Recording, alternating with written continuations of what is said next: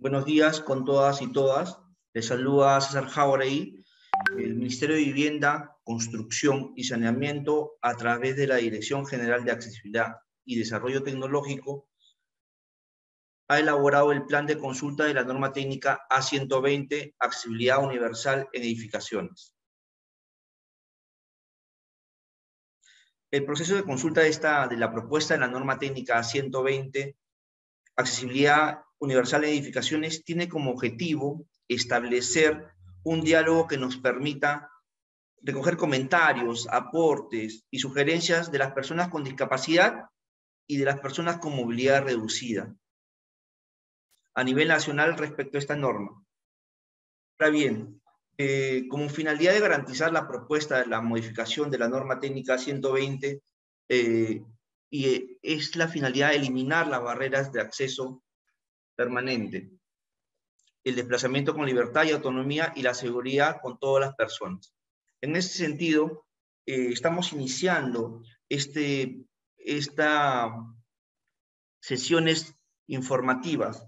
¿no? La propuesta viene siendo trabajada desde julio del 2021 y esta nueva gestión está convencida de que es necesario, importante, desarrollar en el marco de un proceso de consulta para beneficiar no solamente a las personas con accesibilidad, sino a las personas con movilidad reducida. En tal sentido, es de conocimiento público que estamos tratando de contactarnos con diversas organizaciones para personas con discapacidad. Esta agenda, esta, este, esta sesión informativa tiene como punto de agenda una bienvenida, la apertura de la sesión informativa a cargo de la Dirección General de, Accesibilidad y Desarrollo Tecnológico de, de, parte del ingeniero Berlinda, recomendaciones y objetivos de la sesión, la exposición de la sesión informativa propiamente dicha, presentaciones de los canales para la recepción de aportes y absolución de dudas y consultas. A continuación, tendremos las palabras de bienvenida y apertura de la sesión informativa de la directora general de la Dirección General de Accesibilidad y Desarrollo Tecnológico del Ministerio de Vivienda, Construcción y Saneamiento, la ingeniera Uberlinda Ceballos.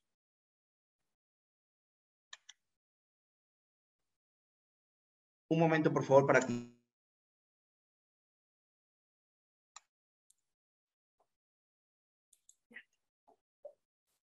Muy buenos días eh, con todos y todas.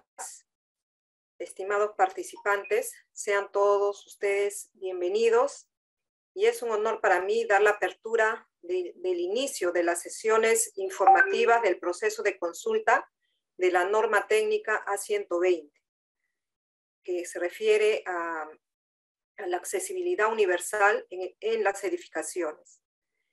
Esta propuesta de modificación de la norma técnica busca mejorar la aplicación y beneficiar a la mayor cantidad de grupos de personas. Porque con esta norma técnica estamos buscando la eliminación de las barreras que impidan el acceso, la permanencia, el desplazamiento con libertad y autonomía y la seguridad de todas las personas y en especial de las personas con discapacidad. Desde nuestra dirección general estamos comprometidos en trabajar siempre con el pueblo y para el pueblo. Muchas gracias. Agradecemos las palabras de bienvenida y apertura de la sesión a cargo de la señora directora general y con ello eh, también las palabras del arquitecto Jorge Montalvo, director de accesibilidad de la Dirección General de Accesibilidad y Desarrollo Tecnológico. Buenos días, buenos días a todos.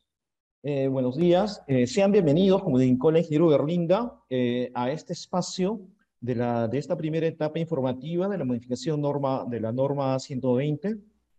Tenemos entendido que de acuerdo al censo del año 2017, el 10% de la población tiene alguna discapacidad. De esto, casi el 50% tiene alguna discapacidad visual. Entendiendo que todos llegaremos alguna vez a tener algún tipo de discapacidad visual, motor, auditivo, de, debido a la adultez a la que vamos a llegar todos, y debido a otros temas como accidentes y todo esto, es que entendemos que eh, las edificaciones tienen que contener estos criterios de accesibilidad para que todos y todas puedan movilizarse, como indicó César también, de manera segura, tranquila, a los diferentes espacios de las edificaciones. En ese contexto, la Dirección de Accesibilidad del Ministerio de Vivienda está realizando mejoras y modificaciones a la norma 120 para tener edificaciones seguras y accesibles, donde todos, incluyendo nuestras personas, nuestras personas con discapacidad, pueden desplazarse de manera segura, eh, generando espacios seguros y también rutas de evacuaciones seguras. En ese contexto nos parece importante eh, la participación de todos los que estamos acá para poder desarrollar estas mejoras a la norma. Muchas gracias. Muchas gracias, arquitecto Jorge Montalvo, director de accesibilidad de la Dirección General de Accesibilidad y Desarrollo Tecnológico. Acto seguido, eh, vamos a realizar algunas recomendaciones al respecto. Una primera recomendación vamos a tener es el registro de asistencia. El ingeniero Marco Heredia está compartiendo en estos momentos en el, chat de la plataforma Sur el registro de asistencia. Este registro de asistencia es muy importante, no solamente para registrar las asistencias propiamente dichas, sino también hay data importante para el cual nos va a ayudar para las sesiones posteriores. Posteriormente tenemos el intérprete de señas, el señor Armando Sainz, el cual se encuentra eh, realizando la interpretación. Muchas gracias, Armando, por tu participación.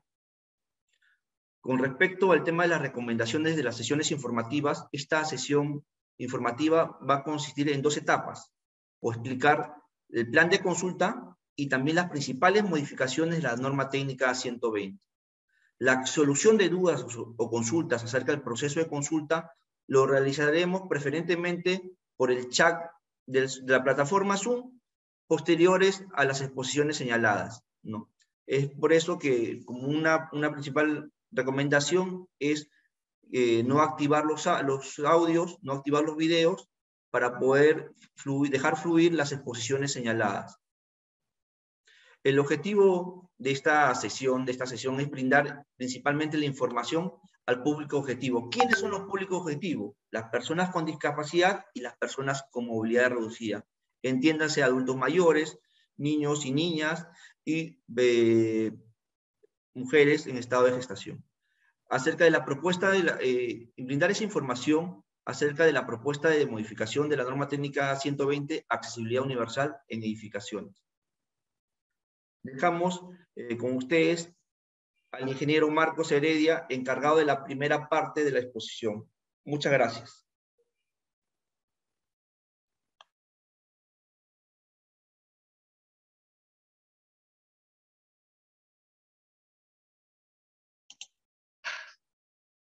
Muy buenos días. Muy buenos, eh, muy buenos días, ingeniera Uberlinda Ceballos, directora general de accesibilidad y Desarrollo Tecnológico, como también el arquitecto Jorge Montalvo, director general. Hoy día, 10 de enero, vamos a desarrollar, ¿sí? Eh, vamos a desarrollar las diapositivas correspondientes. Por favor, la primera diapositiva, si fuera tan amable. ¿Sí? ¿Correcto? Muchas gracias. Muy bien. Muy bien, respecto al objetivo, colegas, señores participantes, respecto al objetivo, podemos decir, ¿no? Establece un diálogo que nos permitirá recoger los comentarios, aportes y sugerencias de las personas con discapacidad y de las personas con movilidad reducida a nivel nacional respecto a la norma técnica A120. Como ustedes pueden observar en la imagen, en la parte inferior pueden ver, pueden desarrollar, pueden ustedes observar, ¿no? Eh, imágenes relacionadas a las personas con discapacidad y movilidad reducida. El siguiente, por favor. La finalidad.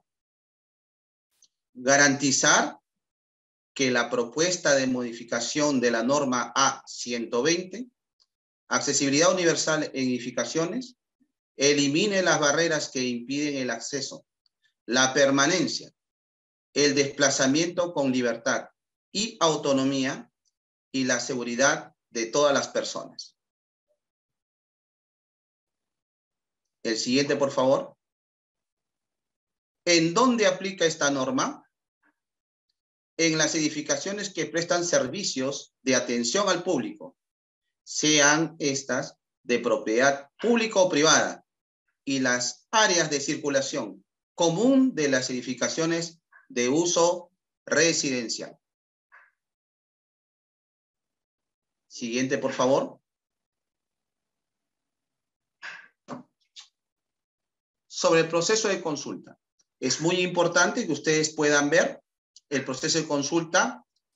Tenemos acá cinco etapas. La primera que ustedes pueden observar de color marrón, la etapa preparatoria, la de color azul, la etapa 2 informativa, la de color verde, la etapa 3 consultiva, un poco más clara, la etapa 4 evaluativa, y la de color rojo, la etapa 5 comunicación de resultados. Siguiente, por favor. Respecto a la etapa informativa, ¿sí? Tenemos acá desde el 3 de enero del, del 2022 al 18 de enero del presente año. El objetivo de esta etapa es brindar información al público, al público objetivo, acerca de la propuesta de la modificatoria de la norma técnica A120, accesibilidad universal en edificaciones. etapa informativa. Respecto a las sesiones informativas, tenemos desde el día 10 de enero, es decir, desde hoy, al 18 de enero del presente año. Ustedes pueden observar, ¿no? Una calendarización en el cual podemos observar a nivel nacional, el día de hoy, 10 de enero, tenemos un horario que es el primero el que estamos justamente desarrollando, desde las 11 de la mañana a 1 de la tarde. La segunda, también a nivel nacional, del 10 de enero, desde la hora 4 pm a 6 pm. Lima Metropolitana, Callao, Lima Provincias, 11 de enero, desde el, el horario es desde las 4 pm hasta las 6 pm. Macroregión Norte, 12 de enero, 4 pm a 6 pm, 18 horas. Macroregión Sur Costa, 13 de enero, horario 4 pm, 6 pm. Eh, macro región sur, Sierra, 14 de enero, 14 de enero, horario 4 pm a 6 pm, 18 horas. Macro región oriente, 17 de enero, también de las 16, 16 horas a 18 horas. Macro región centro, 18 de enero, horario 16 horas a 18 horas. Ustedes pueden ver en la parte derecha de su pantalla las indicaciones respecto a las macros. En este caso, macroregión norte, Tumbes, Piura, Lambayeque, La Libertad y Ancash. Macroregión sur, Costa, Ica, Arequipa, Moquegua y Tacna. Macroregión sur, Sierra, Cusco, Puno, Huancavelica, Ayacucho y Apurímac, macroregión Oriente, Loreto, Cayali, Madre de Dios, San Martín y Amazonas, macroregión Centro, Huánuco, Pasco, Junín y Cajamarca. El siguiente, por favor. Respecto a la etapa consultiva, el objetivo de esta etapa es recibir comentarios, aportes y observaciones de la propuesta de modificación de la norma técnica A120, accesibilidad universal en edificaciones.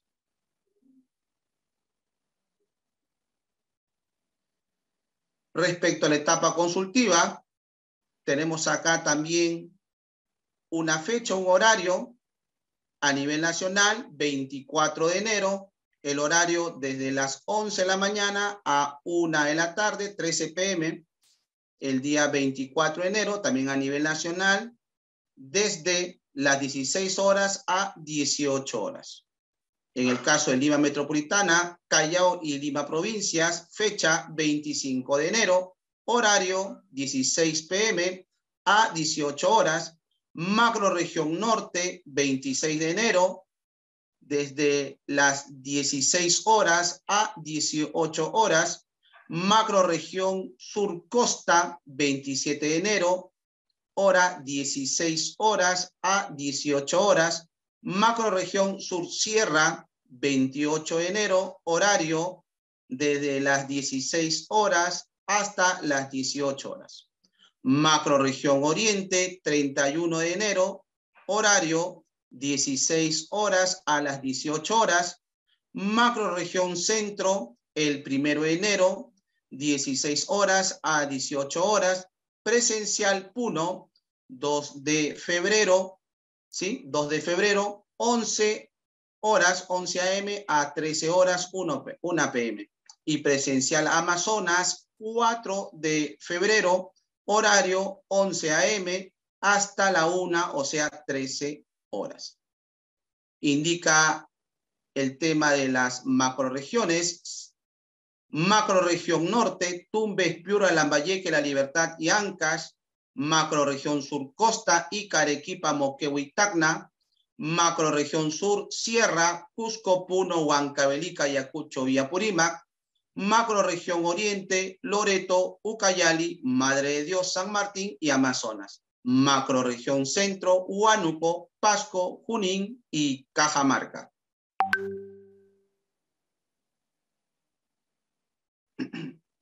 Muy bien, en la etapa evaluativa, el objetivo de esta etapa es recoger, evaluar los comentarios, aportes y observaciones que estén en el ámbito de la aplicación de la norma técnica A120, accesibilidad universal en edificaciones.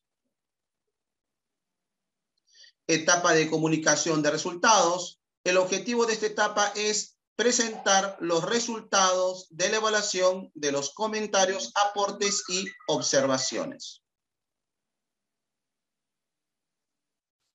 Canales de recepción de comentarios, aportes y observaciones. Los canales correspondientes, por favor, se le va a hacer alcance todos los detalles. Tenemos acá el correo accesibilidad nuestra web proceso de consulta mesa de partes, mesa de partes.vivienda.gov y .p, y durante las sesiones. Muy bien, damos eh, alcance a la arquitecta, a la ingeniera Mariel.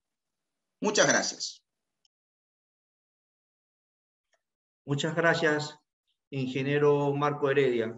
A continuación, eh, vamos a presentar las principales modificaciones de la, norma, de la propuesta de norma técnica 120 a cargo de la arquitecta Marielle Prentice.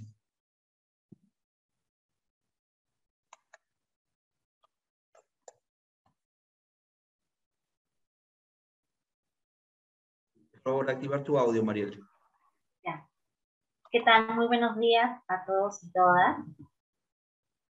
Voy a presentar en este momento las principales modificaciones del proyecto de norma A120. Antes de iniciar, es importante señalar que el Reglamento Nacional de Edificaciones lo va a conformar ciertas, una cierta cantidad de normas técnicas respecto a arquitectura, ingeniería, instalaciones sanitarias, eléctricas, entre otras. En esta oportunidad vamos a, eh, estamos realizando la modificación de una de las normas técnicas que conforma este Reglamento Nacional de Edificaciones, que vendría a ser la norma 120, accesibilidad universal en edificación. Además, estas normas técnicas es de aplicación obligatoria a nivel nacional. El objetivo de dicha modificación, eh, El objetivo de dicha este, modificación es poder mejorar la aplicación de la norma ya que eh, se están realizando algunas mejoras de interpretación, de redacción y especificaciones técnicas más precisas para mejorar el cumplimiento. Así también, eh, otro de los objetivos es beneficiar a un mayor grupo de personas porque ya no está orientado específicamente a las personas con discapacidad física, sino también algunas recomendaciones para otros públicos ¿no? Eh, beneficiarios de estos criterios de accesibilidad, como por ejemplo las personas con discapacidad sensorial, personas mayores, este, adultas mayores, entre otros, otras personas. Muy bien.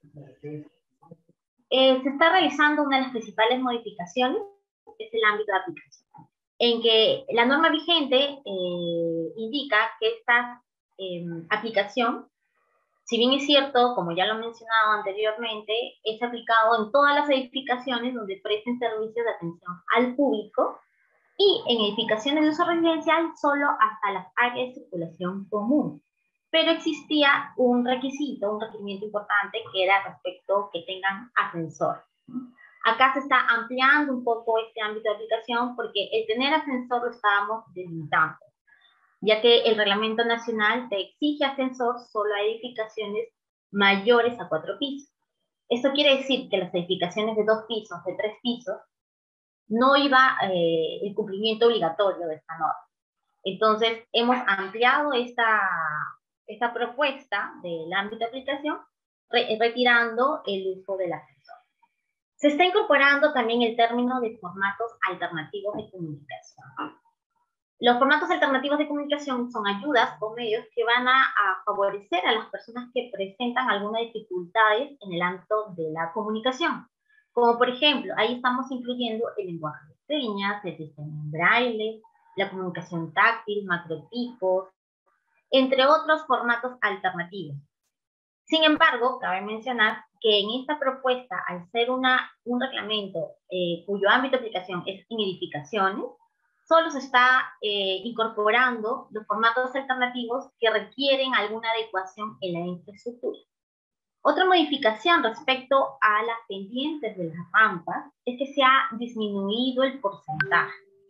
En la norma vigente se menciona que la pendiente máxima es hasta el 12%. En esta propuesta se está disminuyendo esta pendiente máxima llegando hasta el 10%, con la finalidad de poder tener una mayor longitud en la rampa y también un menor, disminuir el esfuerzo de todos los, usuarios. Además, se está eh, agregando el uso de doble pasamano que, se, que está eh, con un distanciamiento mínimo de 25 centímetros. Continuando con la exposición, los asientos con apoyabrazos en la sala de espera, como les comentaba, ya en la norma vigente existe la importancia de que se tiene que implementar al menos uno por cada que tengan un asiento con apoyabrazos. La norma propuesta se está incorporando una dotación del total de estos asientos, que vendría a ser el 2% del total, con la finalidad de poder realizar la, bajo el mismo criterio de las, de las salas, de los espacios reservados en silla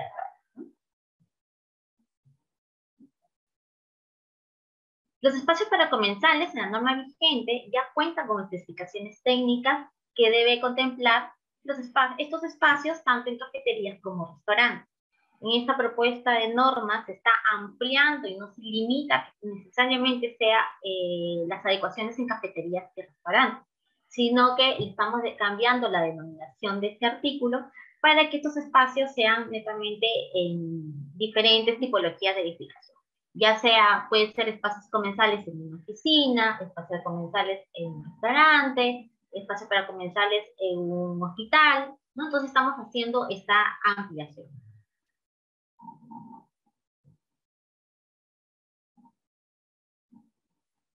Los indicadores visuales es uno de, los em, capítulos, uno de los artículos que se está incorporando en esta propuesta de norma.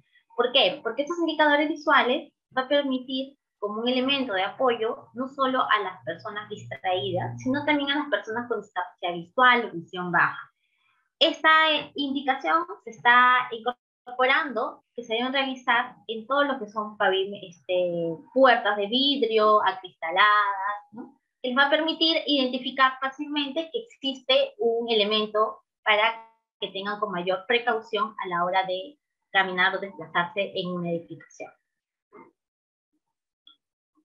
En los ascensores, en la norma propuesta, se está incorporando que en las cabinas de ascensor que no les permite el espacio adecuado para el radio de giro de una persona que utiliza una silla de ruedas, en la parte interna de este ascensor que se ubica frente a la puerta, debe contemplarse un espejo, con la finalidad de que la persona que esté usando este espacio pueda retroceder sin ningún inconveniente y apoyándose del espejo para poder retirarse sin ningún obstáculo. Se está incorporando un cambiador de bebé eh, dentro de la norma. Si bien es cierto, hay algunos establecimientos que ya incorporan o implementan un cambiador de bebé, pero en el marco de las buenas prácticas y no es de carácter obligatorio. Aquí en esta norma, al ser accesibilidad universal, se está incorporando la obligatoriedad en las edificaciones y además bajo el marco del enfoque de igualdad de género, es de que este cambiador de bebé esté ubicado tanto en los servicios higiénicos de varones como el de damas, o a su vez puede estar ubicado de uso mixto.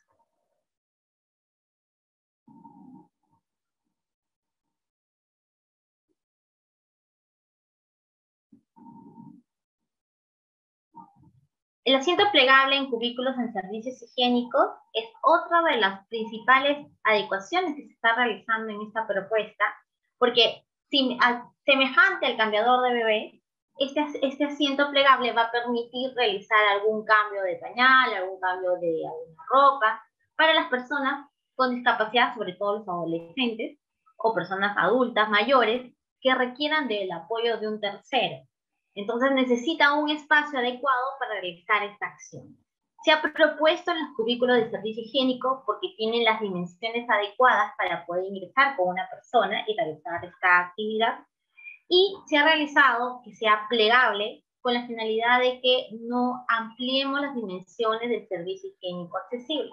Recordemos de que por sí ya este, eh, realizar un servicio higiénico accesible ha sido una lucha constante en las edificaciones debido a las dimensiones, ¿no? Entonces, para evitar que el incumplimiento del mismo y evitar que se hagan las ampliaciones eh, del servicio higiénico un poco mayor, se está realizando que este, este asiento sea plegable.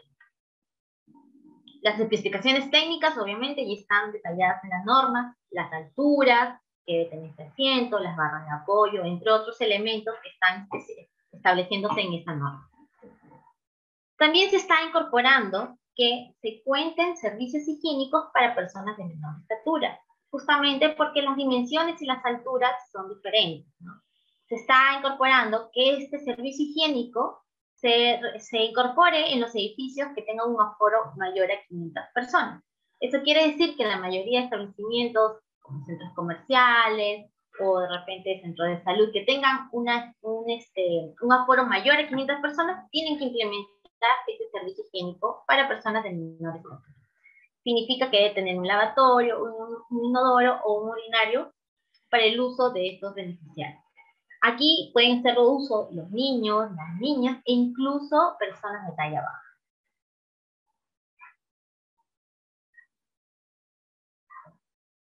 Finalmente se está incorporando un capítulo nuevo que se refiere a la seguridad y señalización para que sea universal. Cabe mencionar que el Reglamento Nacional de Edificaciones cuenta con una norma técnica específica en seguridad y evacuación. Sin embargo, es importante colocar un capítulo nuevo dentro de esta norma porque es mucho más específico y este, orientado a la accesibilidad universal. Por ejemplo, tenemos aquí en este capítulo la señalización en braille. Se va a hablar un poco de, las alturas donde debe estar la señalización, de un mayor o de un alcance que pues, les permita a las personas identificarlo y llegar a la información que indica esta señalización. También estamos hablando de planos ápticos y otros elementos que va a permitir la seguridad y orientar e informar la accesibilidad universal a las personas. Dentro de este capítulo están las áreas de refugio accesible. Se, se, está incorporando un área segura y señalizado para la persona con discapacidad o una persona con, su acompañante. Este área de refugio se está ubicando en el espacio en la caja de la escalera o cercana a ella, justamente ya previamente evaluado de que es una zona estructuralmente segura. Entonces, este área de refugio le va a permitir a las personas esperar de manera segura a quienes requieren el apoyo de un tercero, que en este caso vendría a ser los brigadistas, para poder evacuar con el apoyo de estas personas.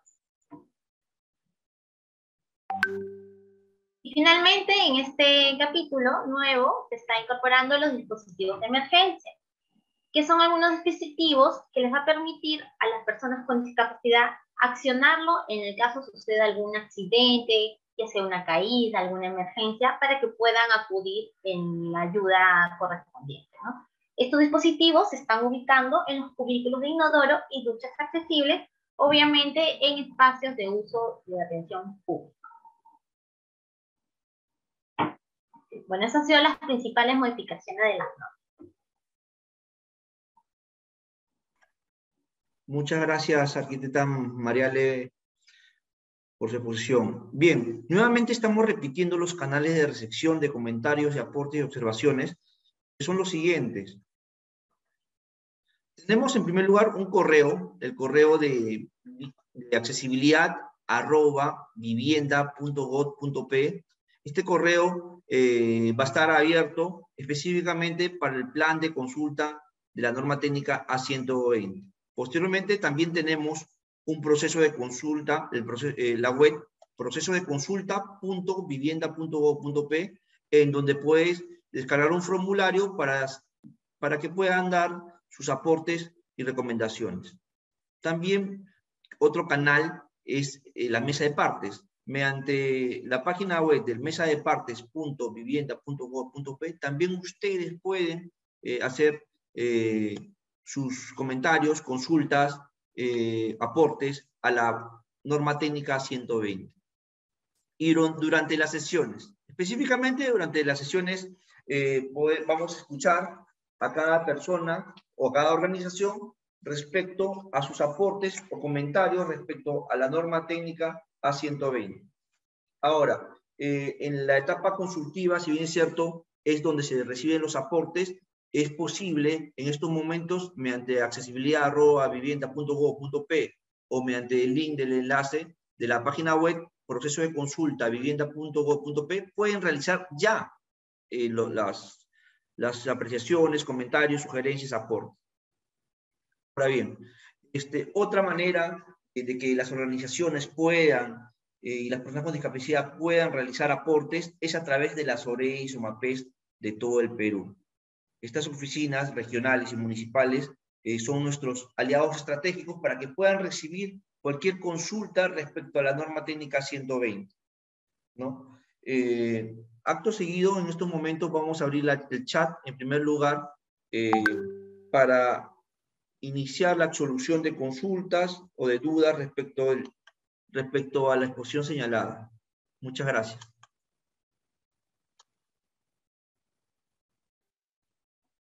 Bien, eh, son saludos. ¿Alguna pregunta por el chat, por favor?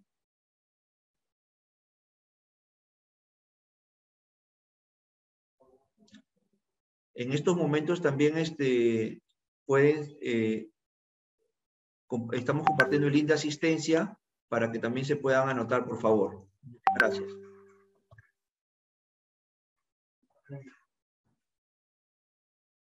Arquitecta, Marielle, hay una consulta sobre el porcentaje, por favor, podré resolver. Sobre el porcentaje de pendiente máximo, la propuesta indica 10%, pero ¿qué ocurre cuando hay variedad de niveles? Muchas gracias, Santiago Ruiz. Sí, te voy a dar el acceso, por favor.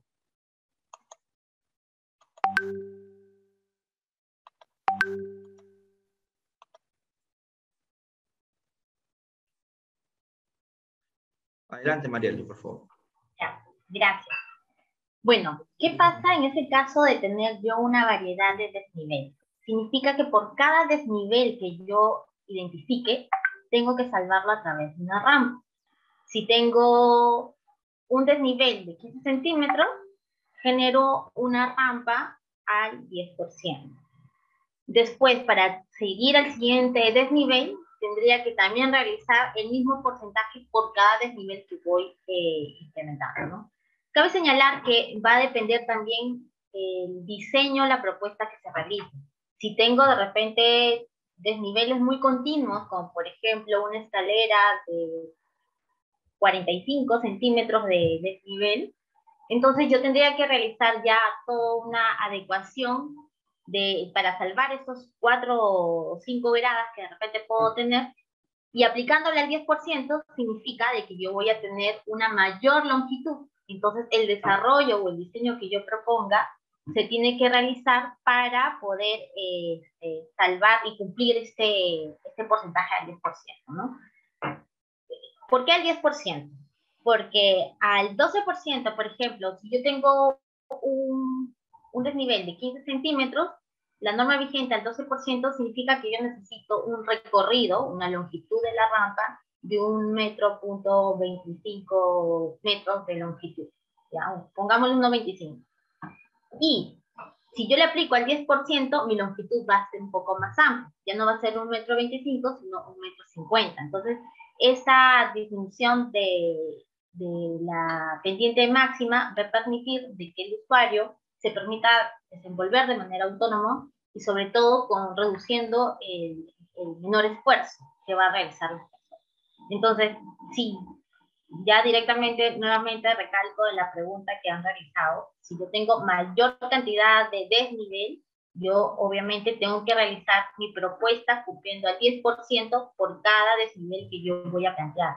O si están todas de manera continua, consecutiva, entonces tendría que aplicar el 10% del total de la altura que estoy identificando. Todo va, a variar, todo va a variar dependiendo de la casuística o el espacio que ustedes puedan tener va a haber algunas situaciones que de repente no les va a permitir desarrollar toda una, una rampa, porque si tengo 50 centímetros de altura, necesito este, al 10%, necesito 50 metros de recorrido. Entonces, si no tengo el espacio adecuado, de repente no va a permitir desarrollarse una rampa, tiene que solucionarse a través de otras eh, alternativas de solución, ya sea mecánicas, ¿no? O algunos recorridos alternativos.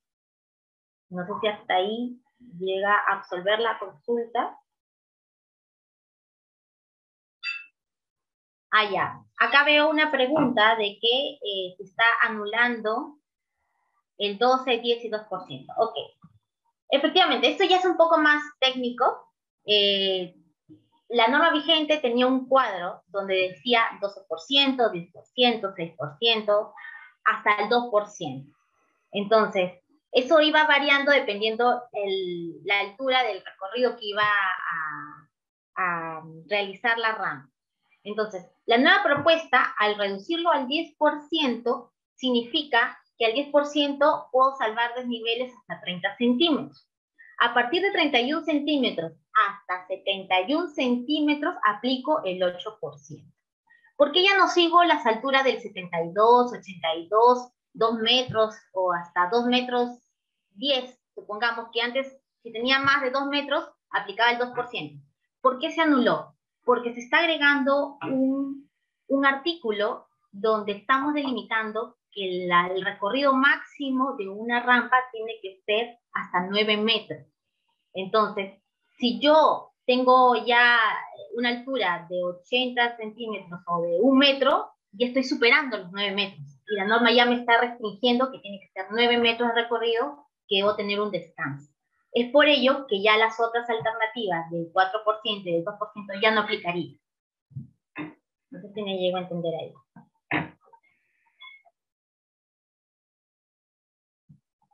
Mariela, eh, Mariela, estaban realizando preguntas sobre el tema del transporte. Eh, ¿Aplica esta norma técnica 120 al tema de transporte? Favor de indicar.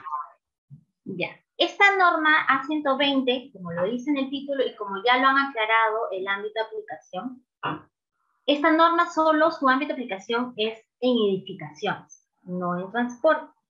Claro está que la dirección, al ser lente rector en accesibilidad, tiene que realizar algunas acciones o articular con otros ministerios para poder promover la accesibilidad en distintos ámbitos de aplicación, ¿no? Eh, yo entiendo de que hay muchas barreras de accesibilidad en transporte, en el entorno urbano, cuántas cruces peatonales hemos visto que no cumplen con la pendiente, ¿no? Entonces, de todas maneras son parte de las funciones de la dirección como ente rector, pero en esta oportunidad es la modificación solo en edificación. Esta es la primera etapa que se está realizando.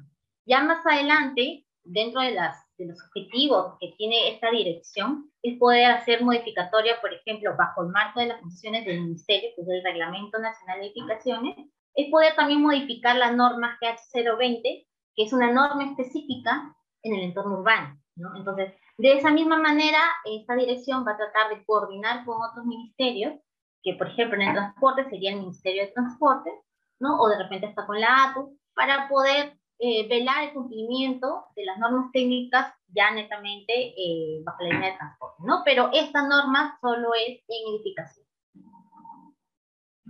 Hay otra pregunta en, en, temas de construcción, los hornos necesitan avisos visuales como luces que se prenden y apagan o letreros luminosos. Eh, ¿Cuál sería tu comentario, por favor? ¿Me repites la primera parte en otras construcciones? Eh, Manuela Valentín señala, en temas de, de construcción, los hornos necesitan avisos visuales como luces que se prenden y apagan o letreros luminosos. Ya, ahí sí estamos hablando en el entorno urbano. Entonces, en el entorno urbano, sí, efectivamente, son partes de las recomendaciones que se van a recoger para poder aplicarlo en la norma GH020. En edificaciones, hasta ahora no hemos realizado ninguna este, adecuación respecto a ello. De repente, si nos dan algún mayor alcance, como para eh, ciertos espacios que se requieren, ya bajo la experiencia que ustedes como usuarios de repente han sentido esa necesidad, nos lo comentan, realizan las consultas o sus aportes en, los canales que han, eh, se han señalado en esta exposición para nosotros poder recogerlos y eh, ver la, la, mejor manera para, para poder este, implementarlo, ¿no?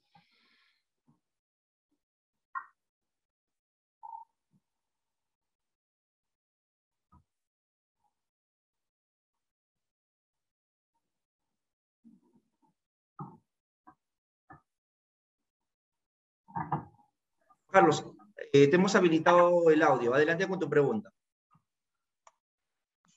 Eh, buenos días con todos. Mi nombre es Juan Carlos Román Bances, eh, presidente de la Asociación de Deportistas con Discapacidad de Piedra Miguel Grau. Bueno, felicito por esta, por esta iniciativa que hay y por estas propuestas que están haciendo especialmente para las normas de edificaciones en la 120.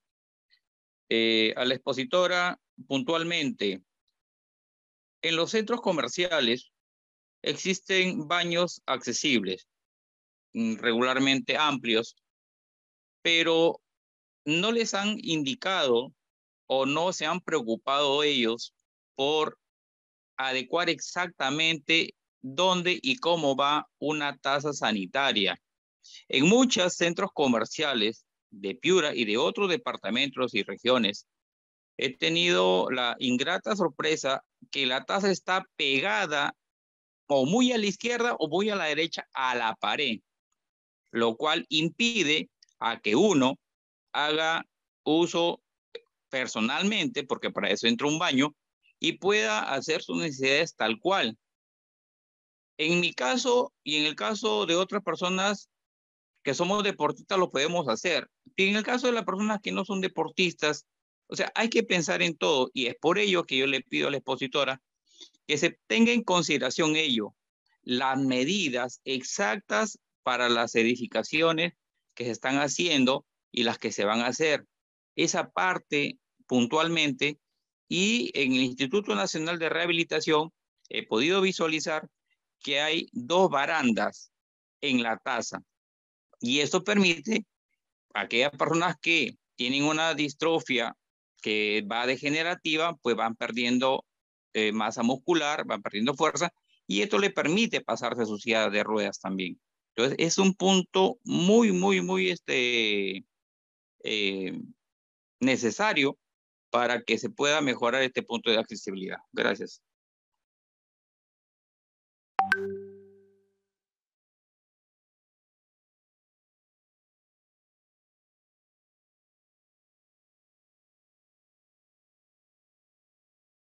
Bien, por favor. Eh, otra consulta eh, que está en el mensaje de texto, en el chat. Sabemos que las construcciones principalmente son en zonas urbanas. Sin embargo, también hay en zonas rurales como los puentes, transporte público y otros. ¿La norma debería especificarlo de ámbito rural? Por favor, tu apreciación, Marielle. Muchas gracias.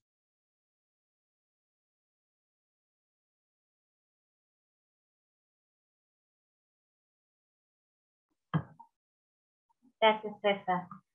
Bueno, como les comenté al inicio, este espacio o la modificación de esta norma solo es aplicado en edificación. Ya más adelante se van a realizar también, al igual que estamos realizando esta propuesta de modificación en esta norma, específica y que tiene mayor especificaciones técnicas en edificaciones, se va a realizar de la misma manera una modificación de la GH 020, donde ahí sí menciona el entorno urbano, las habilitaciones, este, ya es otro espacio donde ahí se va a especificar. Obviamente ahí también está dentro lo que son este, las áreas este, rurales, las áreas este, urbanas, pero ya es netamente al entorno urbano. Muchas gracias, Marielle. Otra consulta. Sandra Bolaños de Oredes Callao señala, ¿qué pasará con las rampas ya construidas que no cumplan con estos nuevos criterios? ¿Tendrán un tiempo de adecuación? Ya. Las normas, todas las normas técnicas no son retroactivas. Sin embargo, como son de uso público, de atención y servicio al público, casi la mayoría de edificaciones que brindan este servicio eh, siempre realizan constantes modificaciones, adecuaciones, incluso para pedir licencia de funcionamiento, las licencias de INDECI, todos los trámites, o, ya sean administrativos o de construcción que ellos realicen, necesariamente tienen que adecuarse a las normas vigentes. Entonces, la mayoría de estas edificaciones van a tener que realizar el cumplimiento de esta norma.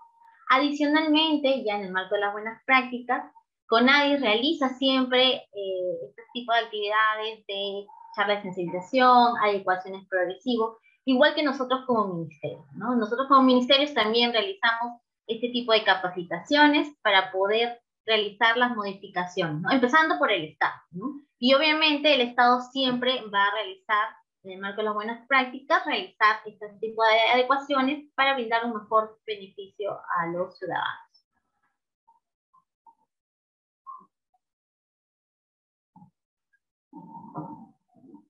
César, creo que hay un ingeniero que requiere hacer una pregunta. Sí, sí, por favor. el nombre del ingeniero, es Eric. El ingeniero Márquez. Eric Márquez, sí. Adelante, por favor. Un momento.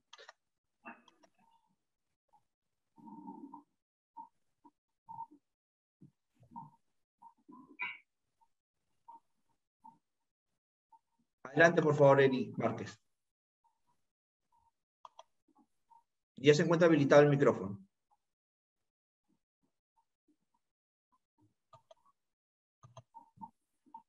Aló, aló, ¿me escucha?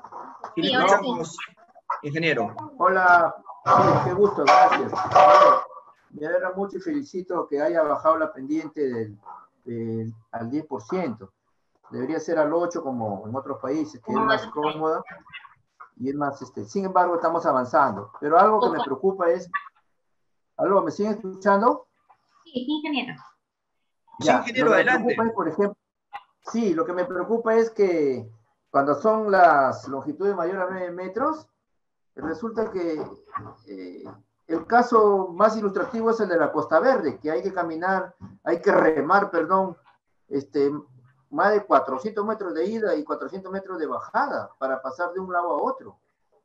Entonces ahí, esa es, una, esa es una cosa que se sale de la norma, pero tenemos que poner un candado porque no vamos a permitir que yo tenga que remar más de 200, 300 metros porque el constructor se le, se le ocurrió y, como sabemos, pues, para salvar una, una nivel hasta de 5 o 6 metros, no vamos a hacer una, una, rampa tan larga que para las personas con discapacidad de, nuestra, de, de nuestro medio, de nuestro entorno, que no tenemos las muchas fuerzas, incluso para siempre diseñar en el caso más crítico, las personas que no, no tienen mucha fuerza, ¿no?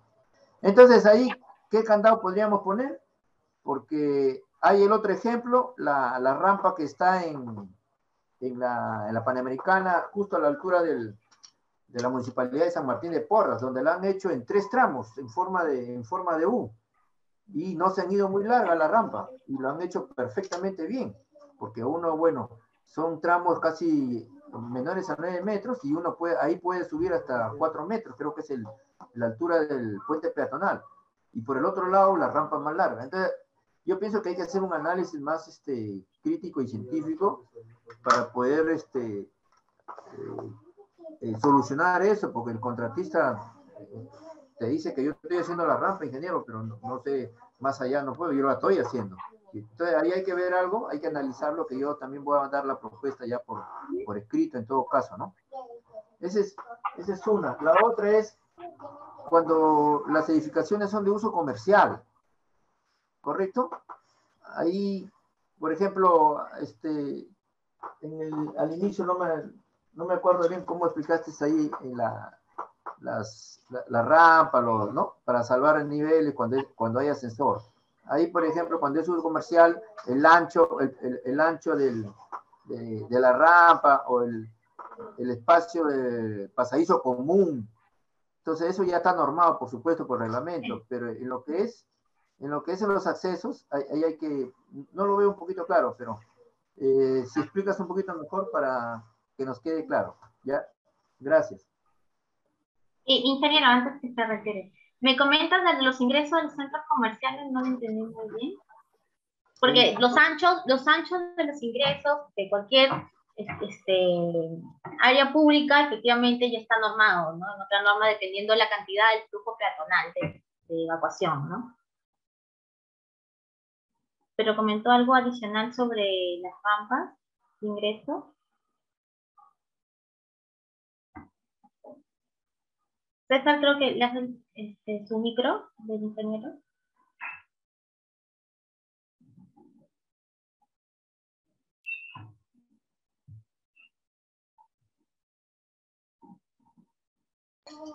¿Aló? ¿Me escucha? Sí, sí, ahora sí, ingeniero.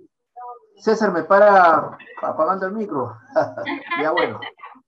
Sí, pues, mira, te decía yo que con respecto a las rampas, las rampas, ¿en qué momento deben tener baranda en ambos lados, como son las escaleras, en los centros comerciales? Porque resulta que los centros comerciales este, hacen su rampa y no, no ponen por las barandas. Sí, y a un lado nada más. Entonces, eso nos preocupa.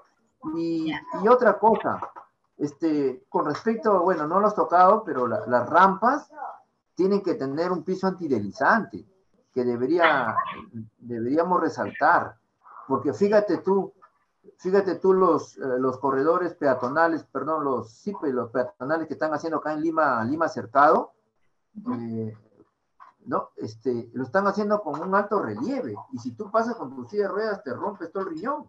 Polaridad, sí, polaridad en la superficie. Sí, eso es lo que hay que, eh, en la propuesta de la norma que estamos muy bien está cambiándose, deberíamos resaltar, porque hay cuestiones muy graves. Eh, eh, el otro ejemplo es que yo diría que deberíamos hacer un, para hacer esta, este cambio, deberíamos hacer una visita de campo con algunas organizaciones para explicar, porque nosotros hemos encontrado 64 barreras y, y esto tiene que plasmarse pues aquí, aprovechar el cambio de la norma yo propongo con el colegio ingeniero hacer una visita con ustedes a Calima cercado, porque fíjate tú, las rampas ahora ya no son perpendiculares a las, a las veredas, ¿no? Ahora son, son un corte que se hace de rampas a ambos lados a la vereda, ¿no? Se corta la vereda, se pone a nivel de la, de, la, de la calzada de la pista y se hace rampas a ambos lados, o se hace un camellón. O sea, ¿cuándo hacemos un camellón o cuándo hacemos un corte de la rampa? Totalmente de acuerdo, ingeniero Márquez. Totalmente de acuerdo. Muchas gracias por su participación. Este, eh, María Bravo, María Bravo está alzando la mano, le estoy activando el, el, el audio.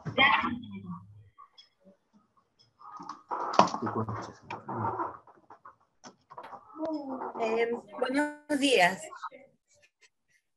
Sí, buen día. Buenos días, María Bravo, te eh, escuchamos. sí, interesante la, la exposición, importante también y yo quisiera, bueno, más que nada, em, preguntar, ¿no? lo que he puesto en el chat es el tema que, bueno, es un tema que tendría que tocarse a fondo. Pero básicamente mi, mi preocupación es que de todas estas modificaciones y cosas que son necesarias, porque son parte de nuestra vida, eh, el tema es por qué nos tiene que, o sea, costar a nosotros mismos, eh, del por qué los gobiernos no se preocupan por invertir en estas cosas, como sí sucede en otros países. Ellos son parte, nosotros estamos dentro, somos parte de, los, de las mesas de gobierno, o sea, de, los, de las programaciones. Eh, yo para ser accesible, y disculpen que hable de mí, pero es mi caso, yo tengo em, discapacidad motora severa y con el paso de los años, desde mi infancia hasta hoy, ha ido en procesos, ¿no? Procesos degenerativos. Al principio andaba normal, o sea, eh, polio desde los siete meses, pero con todas las dificultades y todos mis padres asumieron todas las terapias, todo, y luego con soportes este, biomecánicos, me adaptaba a los baños, me adaptaba al colegio, trataba, la verdad ha sido para muchos de nosotros eh, historias muy, muy relevantes. Ahora, actualmente yo tengo 60 años y ya no estoy hace más de 10 años en muletas ni soportes porque tuve una caída aparatosa. Me rompí la rodilla y por la osteoporosis ya no me puedo operar. Entonces mi vida se, transformó al plano silla de ruedas total. Pero es costoso, altamente costoso, inclusive viajar en taxis especiales, movilidades accesibles. Hacer accesible mi casa me ha costado lo que no tiene idea. mi baño, eh, tantas cosas a las que antes podía entrar, pero he tenido que invertir. Y entonces cuando he pedido a veces este, algún apoyo ¿no? de, de una entidad de gobierno, lo único que hacen es darme planos, decirme la forma eh, o dónde puedo comprar las cosas, pero actualmente asisto a una iglesia muy antigua, más de 133 años de su localidad, ¿no? Su lugar físico. Y ya se imaginará cómo son esos baños y está la Junta Administrativa tratando de, modernizar, de estar a la par con el tema. Y bueno, yo pertenezco a la iglesia, soy miembro de la mesa directiva y les estoy llevando estos aportes. O sea, también los estoy invitando a que entren a este Zoom porque ellos, al no conocer mucho esta situación, no quiere decir que no existan. Ahora, esa es mi preocupación, diría, más que pregunta, mi preocupación y si ustedes pudieran llevar, porque ustedes están, representan a una entidad del gobierno, llevar esta preocupación. Eh, de mi parte, es mi historia, no sé las demás, pero me imagino que tenemos mucho en común, porque las rampas en el Callao, y eso también quiero terminar, en la mayoría de ciudades centrales de, en Callao, Lima, se ponen rampas espléndidas con todo, todo, todo, pero solo las partes visibles, las centrales. Si entraran por dentro del Callao, que inclusive OMAPET esté incluido, es fatal y es terriblemente vergonzoso. Entonces, dentro de cada distrito si vemos lo que se ve, normal, decimos sí, califica, pero entrar en los distritos nos damos con, inclusive para ir a Minca o Barton en, en la Avenida Argentina, por no tomar un taxi del Barton a Minca he tenido que ir por la pista y casi me ha costado la vida porque unas rampas que más parecen suicidas, unos baches en medio de la vereda por donde pasan los camiones, y la verdad que hasta divertirse es carísimo en familia. Es mi inquietud, mi preocupación. Sí, muchísimas gracias. por compartir tu historia de vida.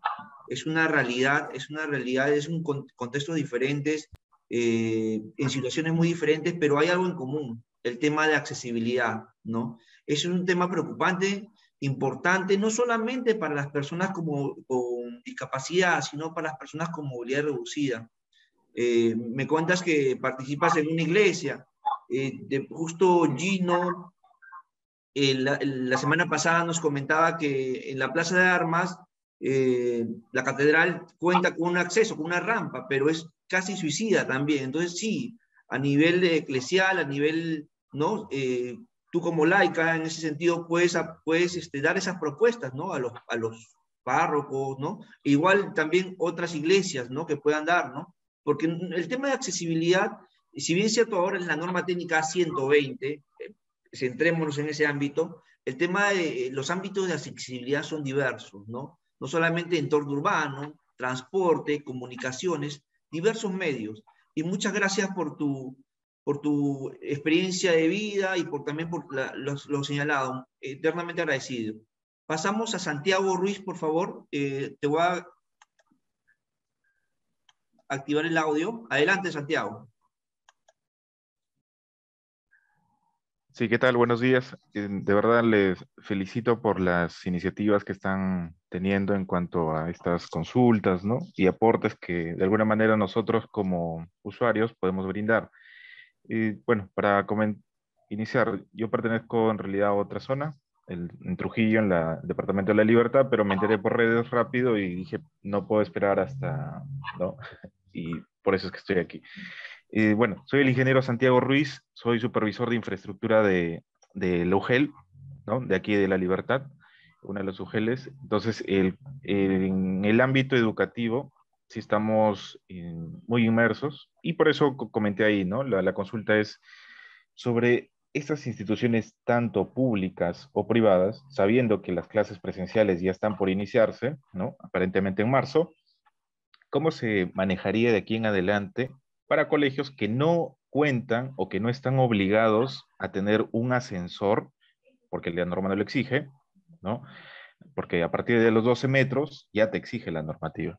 Entonces, ¿qué pasa con las instituciones que tienen dos, tres o cuatro pisos que, que siempre han tenido lo convencional, ¿no? Una escalera o dos escaleras para poder acceder, ¿no? Dependiendo la, la cantidad estudiantil que tengan. Entonces, ¿cómo quedaría esto, ¿no? Para la accesibilidad, mejorar la accesibilidad, sabiendo que también dentro de la educación básica hay una educación básica especial, ¿no? Que es para personas que tienen tal vez alguna eh, limitación en cuanto a su desplazamiento o de movilidad reducida. ¿no?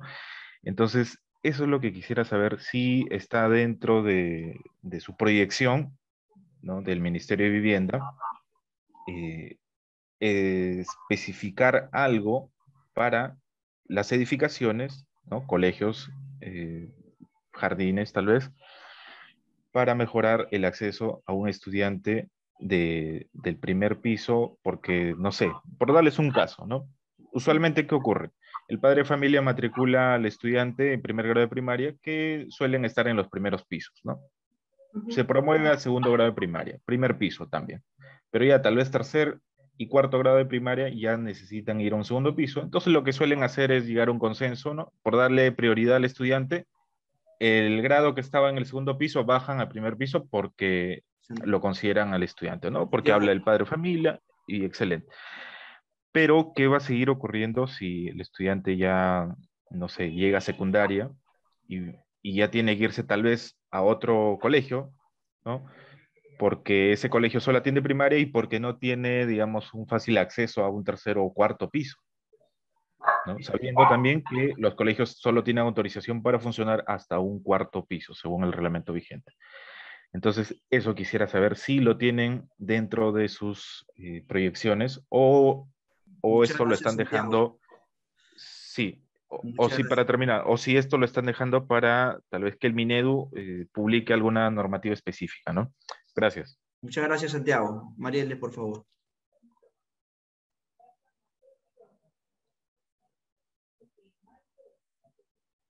Ya, gracias, gracias, César. Sí, bueno, eh, en el caso, bueno, el ámbito de aplicación de la norma 120 en todas las edificaciones que se brinda un servicio público. En el caso de los colegios, obviamente también como brindan un servicio, se tendrían que adecuar. Claro está que como la norma no es retroactiva, cuando realicen alguna adecuación, alguna modificación posterior a la publicación de esta norma, necesariamente van a tener que realizar estas adecuaciones que permitan la accesibilidad universal. Tengo entendido eh, que el, Ministerio de Educación, años atrás, cuando empezaron con los proyectos, eh, los colegios emblemáticos, realizaron algunas normas, bueno, tienen normas sectoriales que ya especificaba el tema de accesibilidad, incluso les permitían algunos, en algunas este, escuelas que tenían que tener rampas del primer y segundo piso, incluso, no sé si me equivoco, pero tengo entendido de que se, estaban realizando este, esta precisión del tema de accesibilidad solo en los colegios emblemáticos.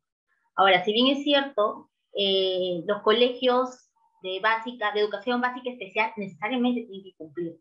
Es una realidad y es lamentable que muchas de las escuelas este, de educación básica especial nunca son infraestructuras nuevas, son infraestructuras que realizan a ciertas adecuaciones.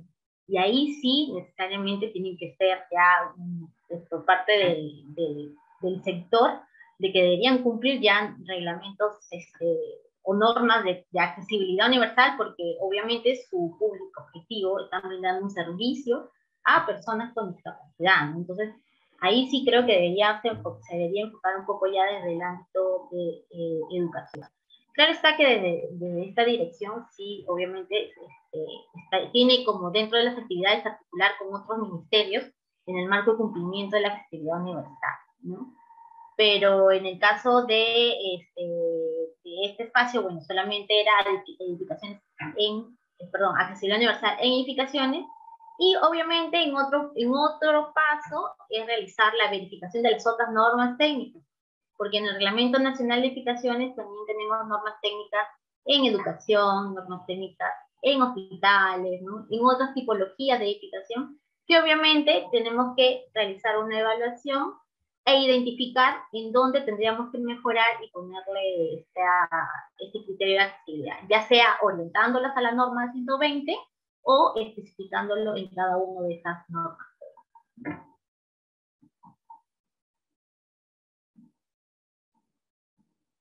Muchas gracias, Marielle. Un punto muy importante para estas sesiones informativas es compartir los materiales, las diapositivas, la norma técnica, los formatos de lectura fácil. Sin embargo, no podemos eh, enviárselos si no, no, pueden registrarse en el registro de asistencias. Eh, de las 80 personas que han participado en estos momentos, solamente 40 este, están compartiendo el registro de asistencia. Estamos en estos momentos, el arquitecto Herbert Luis Mamani está compartiendo la asistencia. Entonces, ¿cómo podemos difundir este tema de las sesiones informativas? No solamente participar en las sesiones, ¿no? Muchas veces eh, hay, hay exposiciones que son muy buenas, pero no todo lo van, no todo lo van a este, captar en, un primer momento. Es necesario eh, material y para compartir ese material es necesario sus correos. Y si no tenemos los correos, porque no se han registrado en el registro de asistencia, no vamos a poder eh, señalarlos. Por favor, nuevamente compartan el link y por tercera vez estamos este, señalando el tema de los accesos, ¿no? Hay tres accesos para ver el tema de las sesiones informativas ya el correo de accesibilidad arroba vivienda.gov.pe, la página web en proceso de consulta vivienda.gov.pe y la mesa de partes, en donde se pueden solicitar el tema de accesos y consultas y aportes respectivos. Muy bien, muchas gracias por su participación. Este, el día de hoy también hay otra charla, eh, sesión informativa de 4 a 6 Vamos a compartir un Zoom nuevamente, un nuevo Zoom más restringido para las personas con discapacidad y sus organizaciones.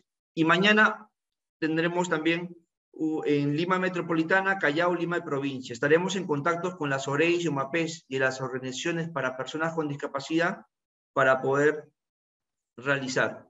Eh, Marcos me dice que no se olviden de inscribirse en el registro respectivo y por favor, todos los materiales están accesibles. En estos momentos el link también eh, está accesible eh, y por favor, eh, difundan, ¿no? Difundan porque es un tema, es un tema, la accesibilidad es un tema de todos, ¿no?